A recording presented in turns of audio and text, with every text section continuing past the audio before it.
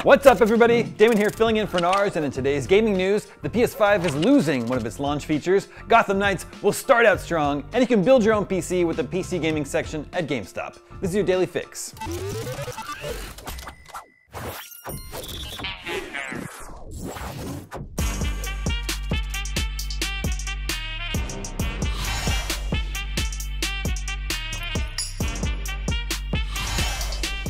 Sony will be retiring PS5's Accolades feature later this year. What are PS5 accolades, you ask? Yeah, that's why they're being retired. Accolades were initially introduced to foster a more positive multiplayer gaming experience by encouraging players to send one of three accolades to a fellow gamer based on their performance in an online match. The accolade could read helpful, welcoming, or good sport. You could see what accolades a player had earned by looking at their profile. But no one used it. And I have to admit, I've had my PS5 since launch and I never heard of this feature. Even looking for news stories about the PS5 from back in 2020, I could barely find any mention of PS5 accolades. So, Sony announced it is pulling the plug on the feature in the coming months. A statement on PlayStation.com reads, In fall of 2022, the accolades feature on PlayStation 5 will no longer be supported. The feature hasn't seen the level of usage we anticipated, so we are refocusing our efforts. We encourage the community to continue to send positive messages to one another. Okay, I'll start. Hey you, watching this IGN video, have you been working out? You look great, and I love what you've done with your hair. Anyway, pour one out for PlayStation accolades gone too soon. I would say they'll be missed, but... In other news, the upcoming Gotham Knights might be an action RPG, but it won't follow the genre convention of having your characters start off as weaklings.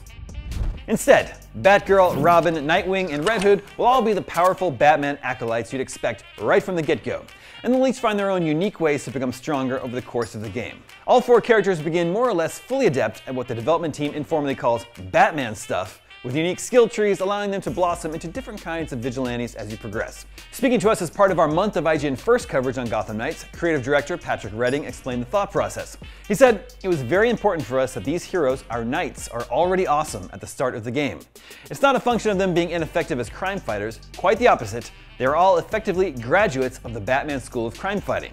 So when they start, they're at their most similar, in the sense that they have a lot of these basic tools of combat and stealth, and moving around in the world and using their grapple.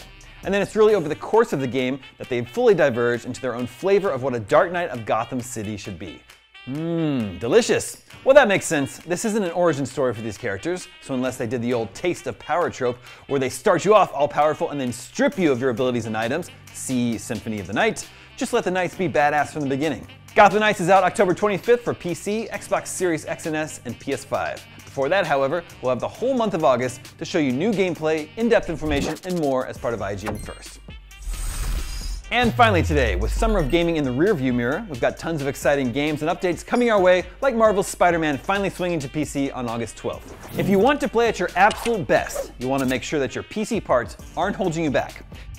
Play as the webhead in stunning 4K and 120 frames per second by picking up an NVIDIA 3080 GPU right off the shelf at the PC gaming section at GameStop, where you can skip the overpriced third-party sellers and get right to the fun part. Get all the PC hardware and accessories you need to take your home setup to the next level.